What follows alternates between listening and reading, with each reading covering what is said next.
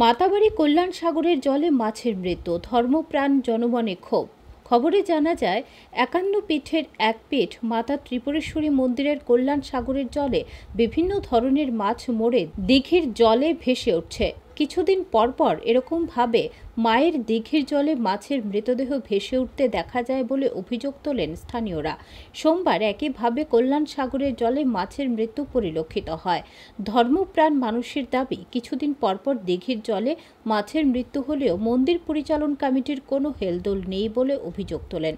এছাড়াও অভিযোগ, মন্দিরে আসা বিভিন্ন দর্শনার্থীরা কল্যাণ সাগরের জলের মাছকে খাবার দেবার জন্য বিভিন্ন প্যাকেটে করে খাবার আনেন। আর এই ধরনের প্যাকেটগুলো দিঘির জলে ফেলে দেয়, যা থেকে দিঘির জল দূষিত হচ্ছে বলে অভিযোগ তোলেন।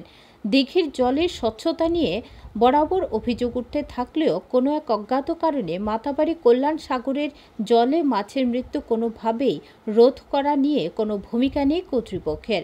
ধর্মপ্রাণ লোকেদের পক্ষ থেকে দাবি উঠেছে অবিলম্বে মাতাবাড়ি দিঘির জল দূষণমুক্ত করে মাছের মৃত্যু বন্ধ করতে প্রয়োজনীয় পদক্ষেপ গ্রহণ করার জন্য।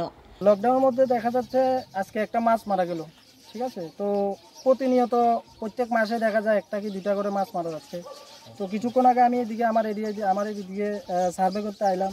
তো সার্ভে করতে আইয়া দেখলাম এখানে একটা মাছ মরে দিচ্ছে তো মন্দির কর্তৃপক্ষের লোক আইলো, আইয়া মাছটারে উড়াইলো। উড়াইয়া তারাই জানে এই ব্যাপারে, তারা কদ্দূর কী করছে।